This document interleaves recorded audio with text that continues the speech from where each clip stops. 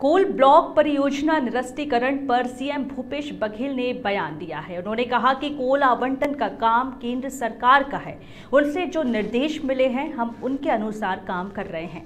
वह चाहे इसका प्राइवेट प्लेयर को नीलाम करें या राज्य सरकार को अलॉटमेंट करें, ये काम उनका है।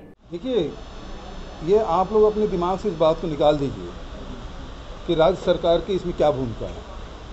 ये पूरा कोल आवंटन है भारत सरकार करती है। और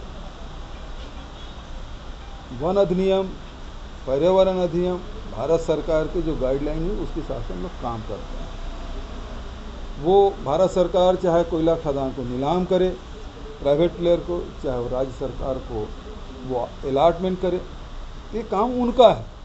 हम तो एक बीच में एक जो कहते हैं कि डाकिया की जो भूमिका होती है तो उन्होंने आदेश दिया, वो हम कर रहे हैं।